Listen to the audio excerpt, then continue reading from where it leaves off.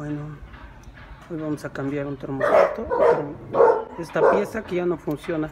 La vamos a cambiar y ahora les voy a mostrar cómo se cambia.